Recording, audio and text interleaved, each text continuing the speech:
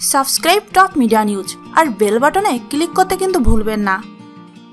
ছোট্ট এক শিশু ইতিমধ্যেই পুরো দেশের নজর কেড়ে নিয়েছে। বলছিলাম বনানীর এফআর টাওয়ারে অগ্নিকাণ্ডে মানবাধিকার পরিচয় দেওয়া ক্লাস ফাইভে পড়ুয়া নাইমের কথা। বনানীতে অগ্নিকাণ্ডের ঘটনায় সাহসিকতার পরিচয় দিয়ে সামাজিক মাধ্যমে ভাইরাল হওয়া সেই নাইম তার কর্মের ফলে লাখো মানুষের ভালোবাসা এবং দোয়া পেয়েছেন। সেই সাথে পাঁচ হাজার ডলার পুরস্কারও পেয়েছেন। তাকে পুরস্কারের ঘোষণা দিয়েছেন যুক্তরাষ্ট্র প্রবাসী এক বাংলাদেশি। কিন্তু সেই নাইম কি সেই সাহায্যের টাকাগুলো নেবেন? নিলেও বা কিসে খরচ করবেন সেই টাকা? যা বাংলাদেশি মূল্য প্রায় চার লাখ টাকা। সেই প্রশ্ন করেছিল জনপ্রিয় উপস্থাপক এবং অভিনেতা শাহরিয়ার নাজিম জয়।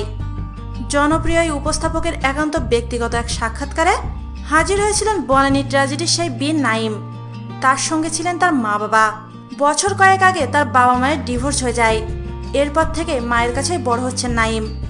কিন্তু ছেলের বীরত্বের সঙ্গী হিসাবে সেই অনুষ্ঠানে হাজির হয়েছিলেন তারাও। সাহসিকতার পরিচয় দিয়ে ভবিষ্যতে পাওয়া পুরস্কার কিংবা টাকা কিসে খরচ করবেন নাইম? জয়ের এমন প্রশ্নের উত্তরে নাইম বলেন, সেই টাকাগুলো সে এতিমখানায় দান করতে চান। নাইম বলেন, আমাদেরকে আল্লাহ তালা অনেক দিয়েছেন। এতিমখানের টাকাগুলো দান করে দিলে তারা সাহায্য পাবে।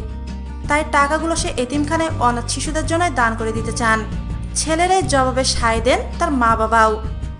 আমাদের এই ভিডিওটি যদি আপনাদের ভালো লেগে থাকে তাহলে প্লিজ সাবস্ক্রাইব করুন। লাইক, কমেন্ট এবং শেয়ার করতেও কিন্তু ভুলবেন না।